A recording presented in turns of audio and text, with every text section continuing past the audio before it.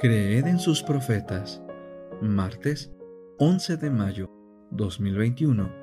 Mateo 13. Parábola del Sembrador.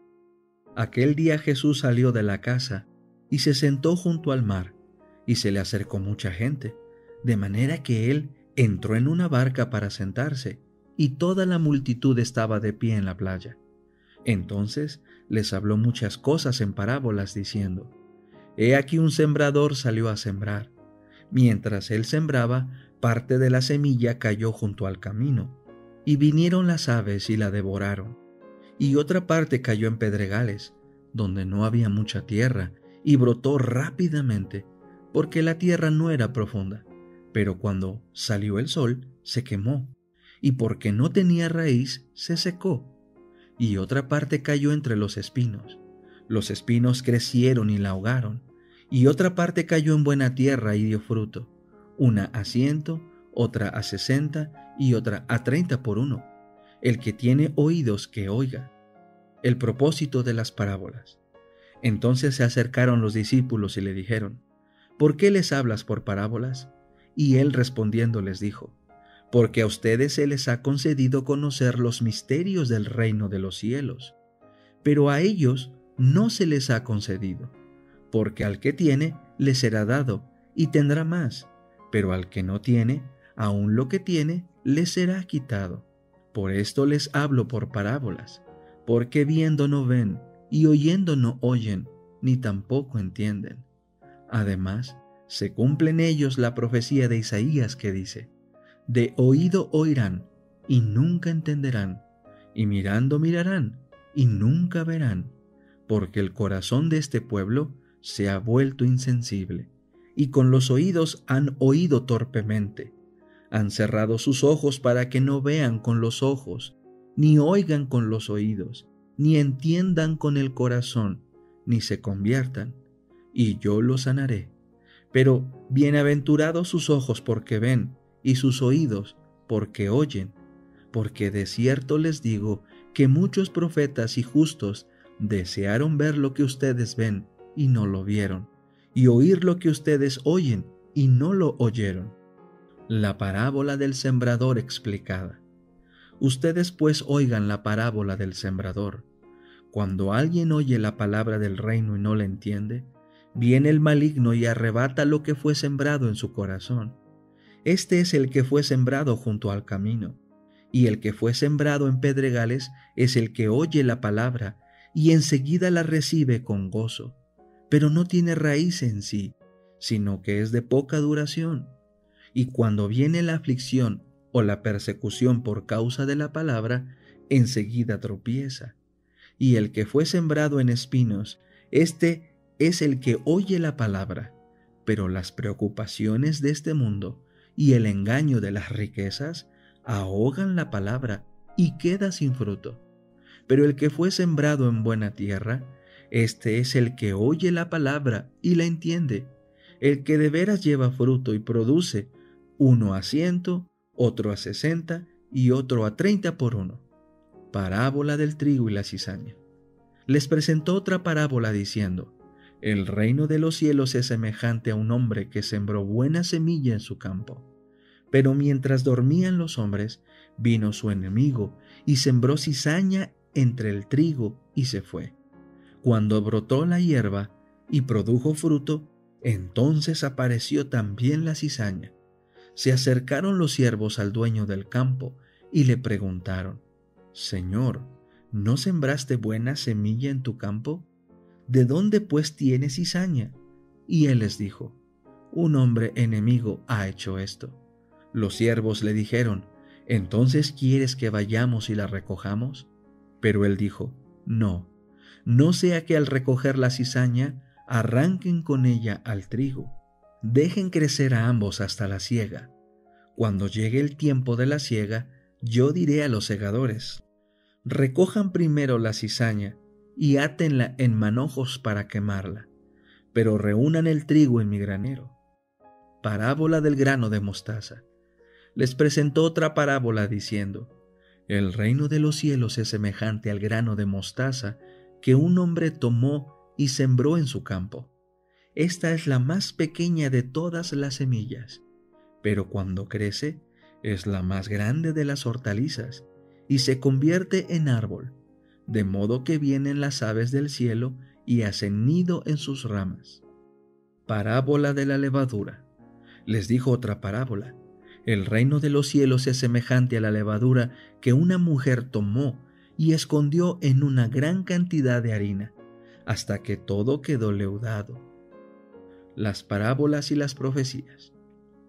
Todo esto habló Jesús en parábolas a las multitudes, y sin parábolas no les hablaba, de manera que se cumplió lo dicho por medio del profeta diciendo, Abriré mi boca con parábolas, publicaré cosas que han estado ocultas desde la fundación del mundo. La parábola de la cizaña explicada. Entonces, una vez despedida la multitud, volvió a casa, y sus discípulos se acercaron a él diciendo, Explícanos la parábola de la cizaña del campo. Y respondiendo él dijo, El que siembra la buena semilla es el Hijo del Hombre. El campo es el mundo. La buena semilla son los hijos del reino, y la cizaña son los hijos del maligno. El enemigo que la sembró es el diablo. La ciega es el fin del mundo, y los segadores son los ángeles. De manera que como la cizaña es recogida y quemada en el fuego, así será el fin del mundo.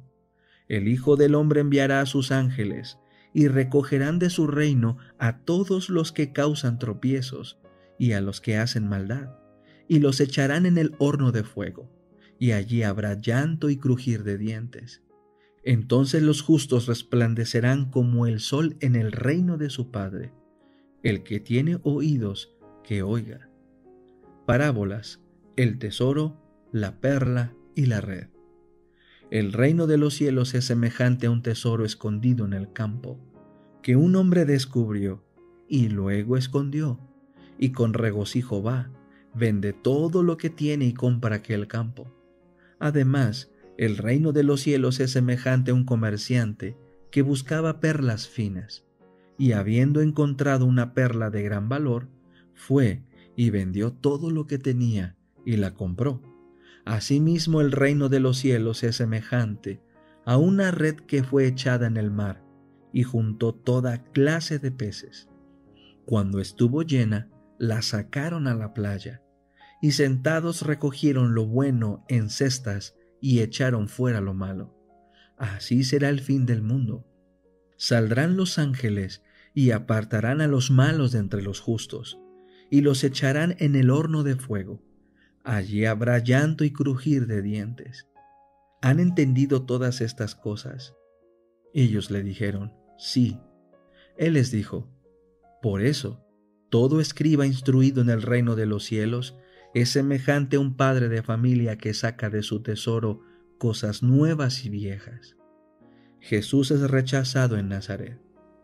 Aconteció que cuando Jesús terminó estas parábolas, partió de allí, vino a su tierra y les enseñaba en su sinagoga, de manera que ellos estaban atónitos y decían, ¿De dónde tiene esta sabiduría y estos milagros?